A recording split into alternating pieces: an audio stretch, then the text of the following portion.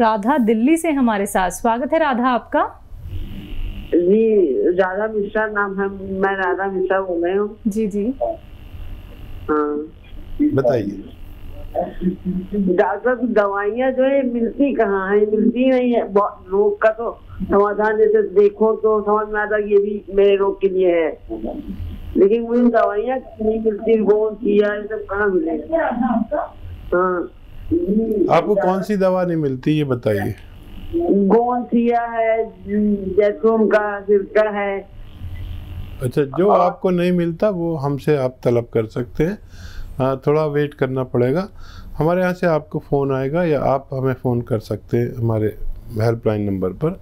Helpline number भी आपको TV screen पर होगा उस पर बात करेंगे तो आपको असली दवाइयाँ पहुँचा जा सकती हैं।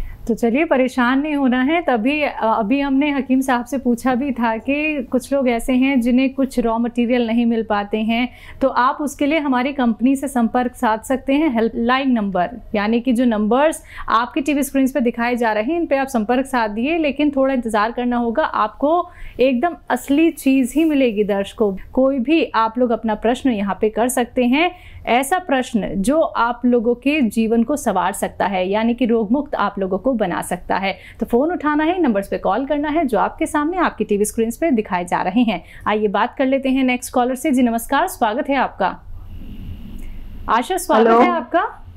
नमस्कार हकीम साहब नमस्कार। जी आदाब आयशा जी। अ, हकीम साहब मेरी उम्र है 65 इयर्स हम्म। हम्म, और अ, मेरे को बीपी की हाई बीपी की प्रॉब्लम है जो कि मैं मेडिसिन एलोपैथिक ले रही हूँ और उससे प्रॉपर ठीक उसकी हो रही है कोई नहीं है उसकी चिंता। मगर मेरी लेफ़्ट वाली टांग में वेरिकोस वेन्स हैं। हम्म। हम्म। और वेरिकोस वेन्स के लिए हकीम साहब क्या करना चाहिए? क्या फूली हुई है नसें फूली हुई है? हाँ नसें सूजी हुई हैं। वो स्टॉकिंग्स पहनती हूँ तो ठीक है फिर जब उतारती हूँ तो उसकी दवाई कहते हैं कोई होती नहीं है एलोपैथिक में। जी। अच्छा दर्द भी है क्या उसमें? ना दर्द तो नहीं है। अच्छा देखिए इसके लिए दर्द अगर होता तो मैं उसकी दवाई बता सकता था। हम उसे सुकैर नहीं सकते किसी यूनानी दवा से। और उसका या एक ये इलाज है कि हम उसे काट के निकाल देते हैं डॉक्टर के मशवरे से। तो इसके से मुतालिक जो डॉक्टर हैं उनकी उनसे आप बात करें। अ, उसको काट के निकाला भी जा सकता है। और तकलीफ़ नहीं है तो बहुत ज़्यादा परवाह मत करिए इसकी। और अखरोट आप दो रोज़ाना खाया करें। और अखरोट भी ऐसे हों साबुत अखरोट और उनको तोड़ के आप खाया करें। ये शायद आपको कुछ फ़ायदा पहुँचा सके। नेक्स्ट कॉलर हैं नानक हरिद्वार से हमारे साथ। स्वागत है आपका। नमस्कार जी मैडम जी। जी नमस्कार। मैडम जी ना जुकाम और खांसी मतलब, छींकें आती हैं जुकाम के साथ ठीक है। एज? आपकी एज? एज मेरी चौंतीस वर्ष के आसपास है। वो कब से आती हैं? इसको लगभग चार साल हो चुके हैं। ठीक है। तो देखिए वही लोग इस वक्त बहुत ज़्यादा फ़िक्र में होने चाहिए जिनको नज़ला खांसी, बलगम की शिकायत रहती है, क्योंकि जो सिम्टम है इसके संक्रमण के महामारी के, वो इससे मिलते जुलते हैं। और जिसमें भी ये परेशानी है इंसान में कि छींकें आती हैं, खान, बलगम, खांसी, कफ आता है तो इसी में यही वो शख्स है जिसमें ये क़वत मुदाफ़ियत, यानी बीमारी से लड़ने की शक्ति कम होती है इम्यूनिटी जिसमें कम होती है, वही लोग हैं। तो इन लोगों को चाहिए कि अपना खूब ख्याल रखें। यूनानी से चार पाँच महीने लगातार इलाज करें तो छः महीने भी लग जाएँ। और तरीका यह है कि देखिए, आपको सपिस्तान उन्नाब और अलसी 100-100 ग्राम लेकर 20 ग्राम इसमें पीपले मिलाकर पाउडर बनाएँ और सुबह शाम एक एक चम्मच खाएँ और सारे परहेज़ करें खट्टी चीज़ों के। और बाहर की चीज़ें कम से कम खाएँ तो आपको फ़ायदा मुमकिन है। नेक्स्ट कॉलर हैं कीर्ति नागपुर से हमारे साथ। स्वागत है कीर्ति आपका। हाँ। जी। मेरी बेटी है तेरह साल की। ठीक है। उसको वो लैट्रिन नहीं जाती है चार चार दिन में जाती है लैट्रिन और खाना भी नहीं खाती उसको भूख ही नहीं लगती है। जी। हाँ फ़िक्र की बात है। और कितने साल की बताइए? कितने साल की आपकी बेटी? ये दस साल की हो गई है। दस साल की ठीक है। देखिए एक अच्छा इलाज भी है। उसे एक गिलास गर्म दूध पिलाया करें और उसमें एक या दो चम्मच बादाम का तेल मिला के उसको रोज़ पिलाया करें तो भूख भी उसे लगने लगेगी और लैट्रिन भी ठीक होने लगेगी। ये एक घरेलू नुस्खा है। बादाम का तेल अच्छा लेना। लोगों ने बादाम हम कहते हैं, मीठा बादाम का तेल खाने वाला। तो ये देख करके देख लीजिए और फिर भी अगर फ़ायदा नहीं हो तो फिर मैं कोई नुस्खा भी बता दूँगा। ये बड़ा सेफ़ है इसलिए आपको बता रहा हूँ। बिल्कुल हकीम साहब ऐसे बहुत सारे लोग हैं जिन्हें जो खाते हैं ठीक ठाक लेकिन उनको मोशन नहीं होते हैं उन्हें ये तकलीफ़ रहती है बहुत सारे ट्रीटमेंट भी वो करा चुके होते हैं लेकिन उसके बावजूद भी उन्हें तकलीफ़ होती है। गैस भी उनके पास होती है लेकिन उसके बावजूद भी एक इलाज नहीं मिल पाता है। तो उसके लिए वो क्या अपना सकते हैं घरेलू नुस्खे? घरेलू नुस्खे में देखिए हमारे किचन में इतनी अच्छी चीज़ें हैं। जी। आप जिन्हें दूसरे तौर पर जानते हैं हम इन्हें दूसरे तौर पर जानते हैं। बिल्कुल।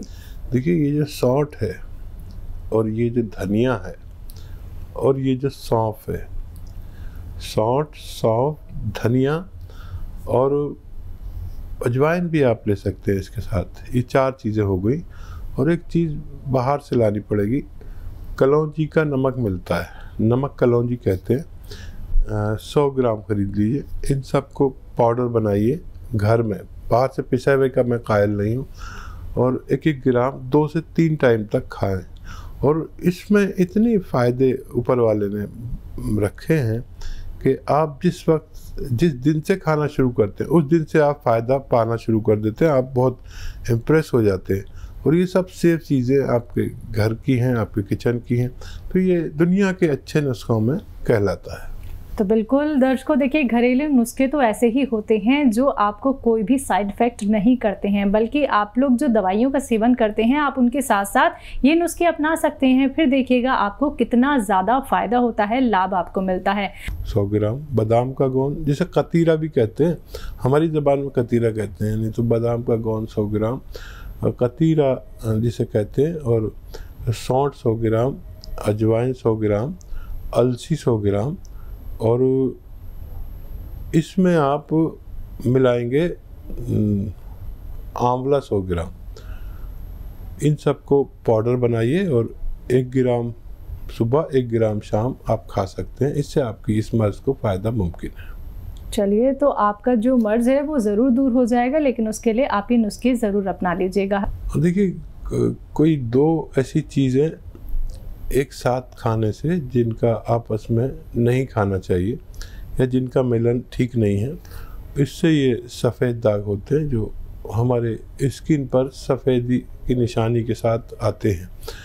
तो जीवन बड़ा कीमती है और इसमें जब हम अनाप शनाप कुछ खाते हैं तो काफ़ी चीज़ें एक साथ नहीं खानी चाहिए। जैसे अक्सर मना करते हैं हम लोग के मछली और दूध एक साथ इस्तेमाल नहीं करना चाहिए। ऐसी बहुत सारी चीज़ें हैं। तो इससे कोई ऐसा रिएक्शन हमारी बॉडी में हो सकता है जिससे हमारे सफ़ेद दाग हो जाए। तो सफ़ेद दाग वाले को हम्म, सबसे ज़्यादा सब्र करना पड़ता है। कभी कभी तो वो ठीक भी नहीं हो पाते और कभी ठीक होते हैं तो इतना टाइम लग जाता है।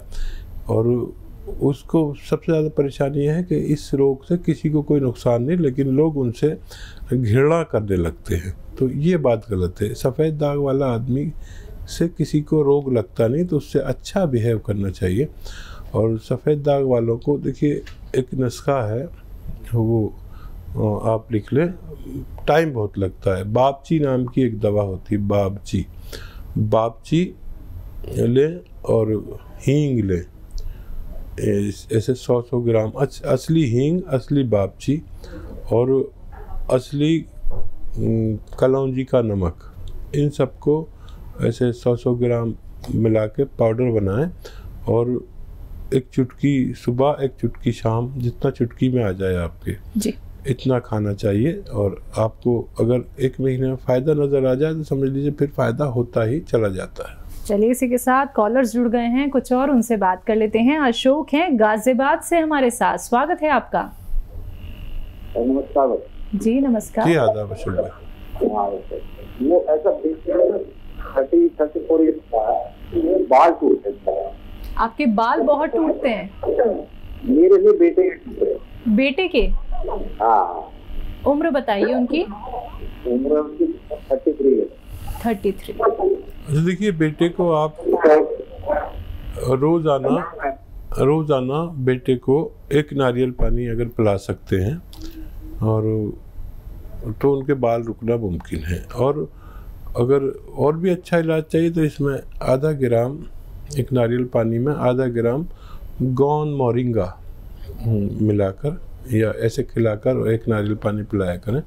तो बाल काफ़ी अच्छे हो जाते हैं संभाले नहीं जाते। आ, ये आप इस्तेमाल कर सकते हैं मुझे उम्मीद है कि आपके बच्चे को फ़ायदा होना मुमकिन है। हमारे साथ सबिया हैं गुलबर्गा कर्नाटक से। स्वागत है आपका।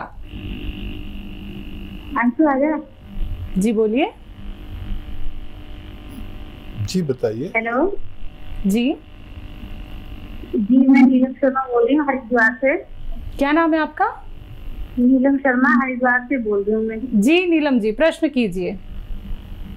वो मैम मेरे को हकीम साहब से ये पूछना था मेरी बड़ी लड़की है ट्वेंटी वन ईयर की। ठीक है। और उनके ना थोड़ी के नीचे बाल आ गए हैं। अभी एक साल से हमने क्या करें उपाय? जी। ठीक है। देखिए अभी यही बात चल रही थी बाल किसी के तो कम होते हैं और किसी के ज़्यादा होते हैं और अनचाही जगहों पर होते हैं। अगर देखिए उनके हार्मोन्स का टेस्ट कराएँ उनको अगर हार्मोन्स की प्रॉब्लम है तो उसको ही कंट्रोल किया जाए। किसी किसी के हार्मोन्स डिस्टर्ब हो जाते हैं। और ये आसान सा टेस्ट है, ये करा लें तो बहुत बेहतर है। और नहीं तो आप एक इलाज कर सकते हैं। देखिए, कलौजी आप जानते होंगे, कलौंजी। कलौंजी का नमक आता है, जिसे कलौजी का एस्टेक भी कहते हैं। कलौंजी का एस्टेक। ये ऐसा सौ ग्राम के करीब खरीद लें और एक चुटकी में जितना आता है, उसको रोज़ाना पानी में मिलाकर दिया करें और गर्म पानी पिलाना शुरू करें। बच्ची ग्रोथ कर रही है और गर्म पानी पाँच बार पिलाएँ और ये आप एक महीना करें और फिर देखें क्या फ़र्क पड़ा। और कभी कॉल नहीं भी मिले तो हमारे हेल्पलाइन नंबर से आप इस बारे में सहायता हमेशा ले सकते हैं चौबीस घंटे ले सकते हैं। तो बच्ची का फ़िक्र आप कर रही हैं तो ज़रूर उसको फ़ायदा मुमकिन है। चलिए अब हमारे साथ जुड़ी हैं सबिया। स्वागत है सबिया आपका। हाँ अस्सलाम जी। वालेकुम हाँ। जी। हेलो। जी। सबिया बताइए। हेलो अस्सलाम जी जी वाले बताइए। हाँ वही सेहत के बारे में बोल रही हूँ मैं। हाँ हाँ बोलिए। थोड़ा मुझे कमज़ोरी भी है।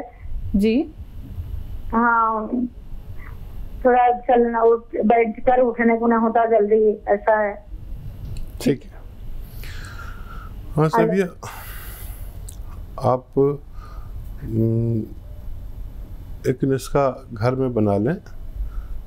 सौंफ सौंठ और सौंफ सौंठ, अजवाइन और गौनसिया। ये सब चीज़ें लेकर सौ सौ ग्राम पाउडर बना लें और एक ग्राम सुबह, एक ग्राम शाम खाएँ तो आपको फ़ायदा होना मुमकिन है। चलिए तो आपको फ़ायदा होना ज़रूर मुमकिन है लेकिन उसके लिए आपको ये घरेलू उपचार अपनाने होंगे जो अभी आपको हकीम साहब ने यहाँ पे बताए हैं। दर्शकों ऐसे ही आप लोग भी इस कार्यक्रम से जुड़ सकते हैं। बस आप लोगों को इन नंबर्स पे कॉल करना है जो आपके सामने लगातार दिखाए जा रहे हैं। आइए बात कर लेते हैं नेक्स्ट कॉलर से। जी नमस्कार स्वागत है आपका। हेलो। जी नमस्कार मैम। जी नमस्कार नाम बताइए। कहाँ से बात कर रहे हैं? प्रमोद बात कर रहा हूँ। जी प्रमोद जी। बताइए क्या जानना चाहते हैं? जानना ये है कि मेरे बार बार मुँह में छाले पड़ जाते हैं क्या दिक्कत होती है इसकी वजह से? ठीक है। प्रमोद भाई एज। कितनी है और कब से तकलीफ़ है? सर हमारी एज है थर्टी सेवन। ठीक है। जी। सर तो देखिए आसान इलाज है।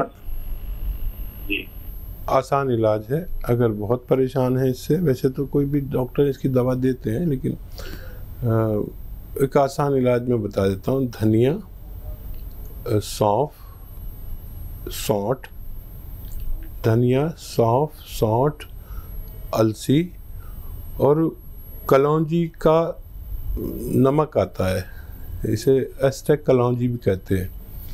तो ये सब सौ सौ ग्राम ले लीजिए। और इसका घर में पाउडर बनाएँ। सब चीज़, किसी भी कोई चीज़ ना लाएँ तो फ़ायदा बहुत ज़्यादा होगा। और एक एक ग्राम, दो से तीन वक्त तक आप खाने से पहले, खाने के बाद पानी से लिया करें और कुछ ही दिन में आपका ठीक होना मुमकिन है।